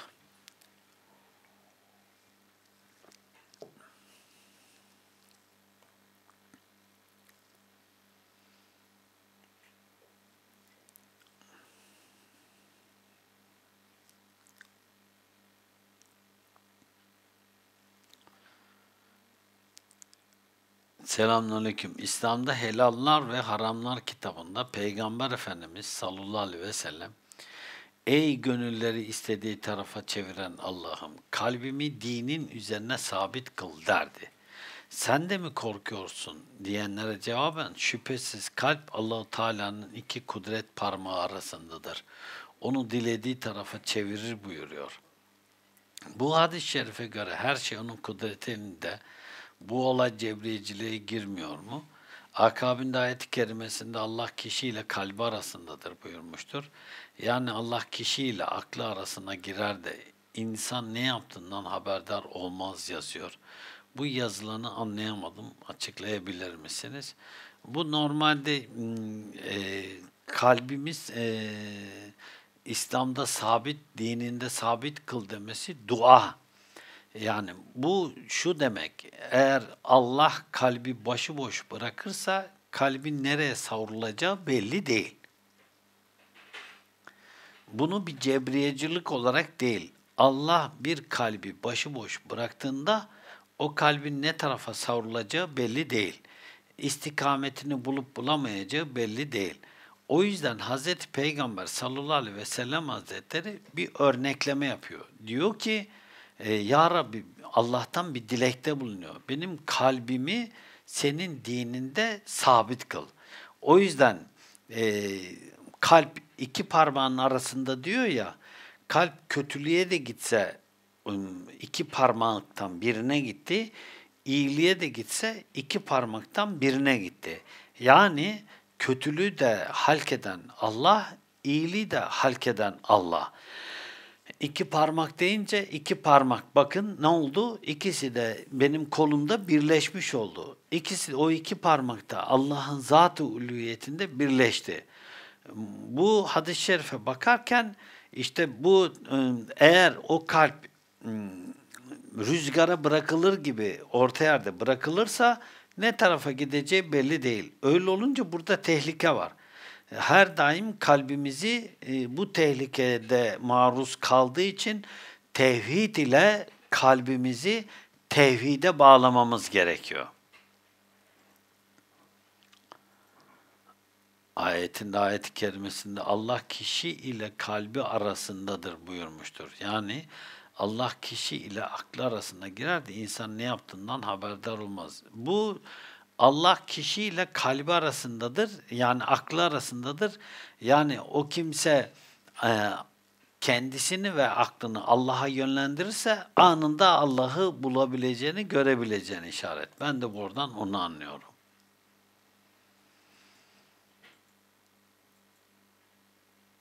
Selamünaleyküm, hayırlı geceler. Bir padişahın huzurunda saygıdan ve korkudan onun emirlerine karşı koyulamaz. Gel derse gelinir, git derse gidilir. Ancak yanından ayrılınca kişi kendi dilediğini yapabilir. Bu örneğe binaen müminler Allah'a karşı edep ve haram işlemekten korkmak, ona itaatte saygı göstermek noktasında Allah'ın kendilerine vermiş olduğu cüz-i iradeyi bırakıp kendilerini küllü iradeye teslim etmiş mi olur? Rabbine karşı kendi cüz-i iradesi kalır mı? Bu noktada gerçek anlamda Allah'a teslim olmuş mümin, cüz-i iradesini nasıl neye karşı kullanılır? Allah'a teslim olmuş mümin demek, cüz-i iradesini külli iradeye teslim etmiş külli iradenin emrine vermiş demektir. Külli irade ona farz ibadetlerini yerine getir dediği için cüzi iradesiyle farz ibadetlerini yerine getiriyor. Ona haramlardan uzak dur dediği için cüzi iradesiyle külli iradenin emrine ayak uydurup bu noktada farzları yerine e, haramlardan uzak duruyor. Selamünaleyküm. Kur'an ve sünnetin dışında hükme taraf olan halife azledilecekse, ikinci Abdülhamit'in genel ev ve içki fabrikasına müsaade etmesi, sonrası azledilmesi doğru bir karar mıdır? O kararların içerisinde azledilme kararların içerisinde bu da var. Yani biz böyle e, bunları çok ince detaylarını araştırmış bir insanlar değiliz ama bunların olduğu söyleniyor. İkinci Abdülhamit tahttan indirildikten sonra devletin daha kötüye gitmesini nasıl yorumlarsınız? Evet ikinci Abdülhamit Han devleti derleyip toparlamıştı Ama devleti derleyip toparlarken öbür taraftan da Kur'an ve sünnet dairesinde hatalar yapmış olabilir. O yüzden tarihçilerin işi, tarih bu konuda çok tarihi bir birikimim yok. Tarihi bir birikimim olmadığı için hükmetmem de mümkün değil. Selamünaleyküm. Eşimle şiddetli geçimsizlik yaşıyoruz. Çok kavga ediyoruz. Sinirli bir kimse. Küçük bir tartışmada dahi bayan olduğu halde ağızdan küfür eksik olmuyor. Sus diyorum susmuyor. Alttan almıyor. Ben dahi sinirlenmeye başlıyorum. Dayanmaya çalışıyorum. Bir umut yumuşama olur diye. Lakin her defasında da boşa beni diyor boşanımımdan bahsediyor. Size dahi gelmiştik. Anlatmıştık. İlk yılımızda nikahımızın durumu nedir? Bu sözlerinden dolayı ne yapmalıyım? Ben boşanma taraftarı değilim. Akıllanması ve yürümesi için bu evliliğin talak mı vermem gerekir, ne demem, ne yapmam gerekir? Sizden dua istiyoruz. E, bu benim genel e, felsefem. Bunda e, herkes uyacak diye bir zorunluluk yok. Eğer bir kadın bir erkeğe beni boşa diyorsa ben arkadaşlara tavsiyem şu. Yani yürümeyecek noktada değilse kadının isteğini geri çevirmeyin. Boşayın. Birbirlerinize hayatı zulmetmeyin. Veya bir erkek bir kadından boşanmak istiyorsa bir kadın olarak onlar ondan hakkınızı alın, erkeğin isteğini yerine getirin. Boşayın, boşanın. Yani mesele boşanma noktasına geldiyse taraflar birbirlerinden hak ve hukuklarını alıp boşanabilirler. Veya birbirlerinden hak ve hukuklarından feragat ederekten de boşanabilirler. Bu benim genel felsefem. Bu benim genel e, kaidem. E, eğer yürümüyorsa boşanın. Ben zaman zaman derslerde söylerim. Bir kadın benden boşanmayı istese sorarım ona. Yani iyi düşündün mü? İyi düşündüm diyorsa boşarım. Yani neden hayatı zulmedeyim ona? Ve hatta e, bir erkek bir kadından boşanmayı talep ediyorsa e, kadın boşanmamak için bir iki ona söyledi ama adam boşanmayı istiyor, boşanmayı talep ediyor. Kadının da bu konuda direnmesi doğru değil. Yani boşansınlar. Herkes hayatının hayatına baksın, yoluna baksın. Hele böyle geçimsizlik söz konusuysa taraflardan birisi işte psikik psikolojik problemler yaşıyorsa çünkü aşırı derecede sinirlilik bir psikolojik bir rahatsızlık da olabilir. Tedavisi yok ise veyahut da bu konuda bir problem yaşıyorsa insanlar hayatları birbirlerine zehir etmesinler, boşanabilirler.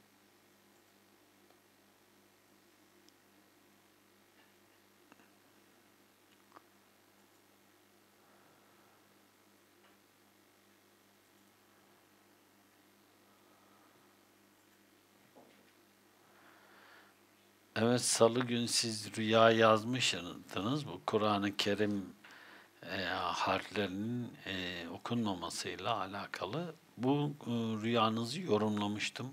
Oradan dinleyebilirsiniz inşallah. Selamünaleyküm, geceniz hayır olsun. Neden mürşidi kamiller devlet başkanlığı yapmak istemezler? Böyle bir e, kanunun ve ibarenin olduğunu bilmiyorum. Neden devlet başkanlığı yapmak istemesinler ki? Yaparlar. Yani mürşidi kamillerden daha hala devlet başkanlığı yapacak kimse olmaz. O yüzden mürşidi kamillerden devlet başkanı olmaz diye bir kaydı yok. Hem de en iyisi olur.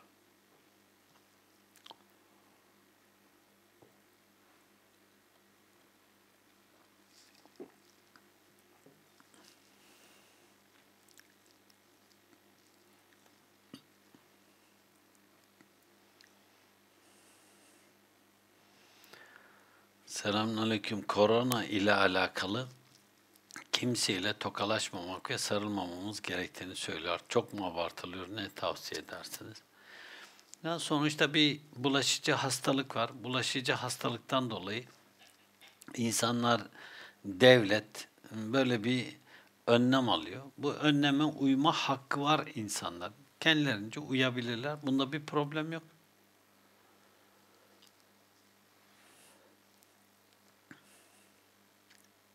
Oyuncak bebek örüp satmak uygun mudur? Bu, gön, bu gönderdiğiniz fotoğraf uygundur. Selamünaleyküm. Kur'an'ın yasaklamadığı bir takım şeylerin zararını görülerek yasaklanması konusunda bazı tarikatlarda helal olan şeyler yasaklanıyor. Buradaki insanlar, diğer Müslümanlar bu yasaklar uymadığı için onlara günahkar ya da cehennemlik olduklarını söyleyebiliyorlar. Böyle kimseler akrabamızda da mevcut. Yöre insandan bu tip bazı konular öyle yaygınlaşmış ki doğrusunu hadis örnekleriyle söylesek de bazen inanmıyorlar. Bu konular açıldığında nasıl bir yol izlemeliyiz? Bu e, helal olan şeylerden perhiz edilebilir. Bu yasaklamak değildir. Perhizdir. Yani bu ne demektir? Mesela bir kimse e, ete karşı çok duyarlılığı vardır. Ona dersiniz ki siz et yemeyiniz. Et helal mı? Evet. Ama onun ete karşı bir alerjisi var, bir problemi var. Bu peris. Ona et yeme denilebilir. O yüzden bazı tarikatlarda helal olan şeyler e, bu noktada yasaklanıyor olabilir. Perhizdir bu. Bu mümkündür ama yok böyle bir hastalıktan, rahatsızlıktan dolayı değil ise o zaman e, farklı bir şey. Ama kendisine yasaklanmış yani et yemesi kendisine yasaklanmış bir kimse et yiyenleri kafir hükmünde görmesi, münafık hükmünde görmesi veya siz doğru yapmıyorsunuz diye görmesi bu cehalet. Allah muhafaza eylesin.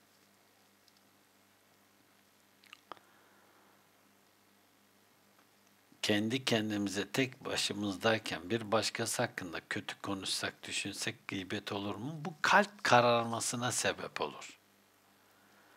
Bu gıybet olmaz ama kendi kendine birisinin hakkında kötülük düşünmek kalp kararmasına sebep olur. Allah muhafaza eylesin.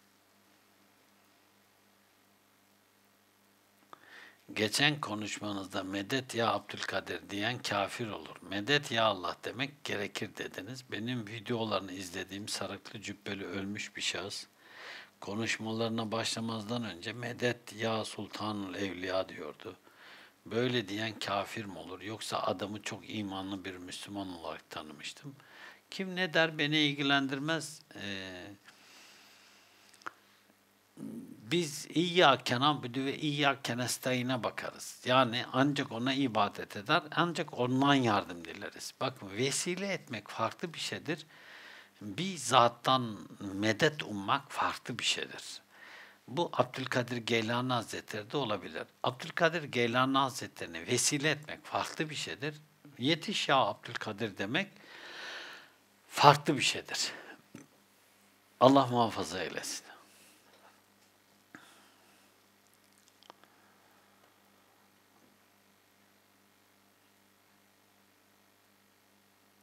Hamburg'dan sevgi selamlar. İnşallah bize de gelir ve misafirimiz olursunuz bir el, Almanya seyahatiniz olsun. İnşallah Allah nasip ederse geliriz inşallah. Şu anda her ne kadar plan ve programımız dahilinde değil ise de inşallah e, gelmeye gayret ederiz. Kenyalı kardeş görüntülü arama yapmış e, ama cevap verebilmemiz mümkün değil. Hakkınızı helal edin. Selam aleyküm. İçinde her atom bir güneş saklar derken eğer atom ağzına şöyle bir açar bu, güne, bir, bu güneş bir çıkarsa şayet o pusadan gökler ve yer tuz buz olur ışıl, ışıltısından Mesnevi 4610 yukarıda pirimiz atom bombası tarif etmiş yıllar öncesinden. Böyle ilimler hangi mertebeler mertebede verilmeye başlanır? Bir de tasavvuf yolunda hayatında zina etmiş kişiye rüya ilmi verilmez diye duymuştum. Bu yolda buna benzer kurallar var mıdır? Hiç ilk defa duyuyorum zina etmiş bir kimseye rüya ilminin verilmez dendiğini. E, burada da atom bombasından bahsettiğine inanmıyorum. E, Mesnevi'nin bu beytinde. Bu Mesnevi'nin bu beytinde farklı şeyler olabilir. zor durumda kaldın. Selamünaleyküm. Zor durumda kaldığında aniden yapabileceğimiz dua nedir? Bağışlama yapıyorum ama siz neyi önerirsiniz? Eşim için de dua eder misiniz? Allah muininiz olsun. Normalde bir kimse hangi zor durumda tevhid çekebilir, hasbinallahu ve nimel vekil diyebilir gibi. Allah bir kalbi neden başıboş bırakır? Kulu bu noktaya düşüren sebepler nelerdir? O Allah'la olan ilişki, ilişkisini başıboş bırakmıştır. Allah da onun kalbini başıboş bırakmıştır. Kim Allah'ı unutursa Allah da unutur. Kim Allah'a sırtını dönerse Allah da ona sırtını döner. bir günahından dolayı birine kızmakla onun günahından dolayı kınamak arasında bir fark nedir? Bir kimse eğer e, böyle elinin altındaki bir kimse ise onu günahından dolayı, günahından geri çevirmek için kızabilir. Ondan sonra kınamak farklı bir şey. Kınadığınız sizin başınıza gelir diyor. Ona dikkat etmekte fayda var.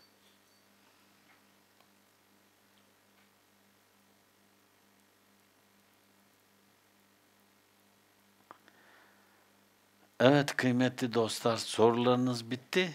O yüzden Allah gecenizi hayırlı eylesin. Cenab-ı Hak en kısa zamanda buluşmamıza, en kısa zamanda görüşmemize vesile eylesin. İnşallah önümüzdeki e, Perşembe gün sohbetimize e, devam edeceğiz inşallah. Haklarınızı helal edin. Şimdi yine mutadımızı yerine getireceğiz tevhidimizi çekeceğiz. İnşallah geceyi sonlandıracağız.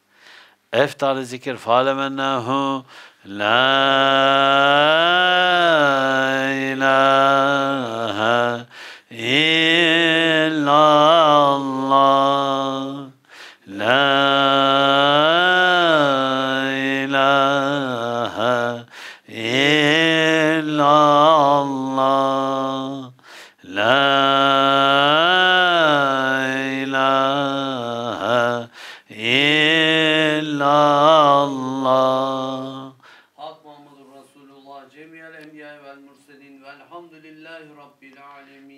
alemin. El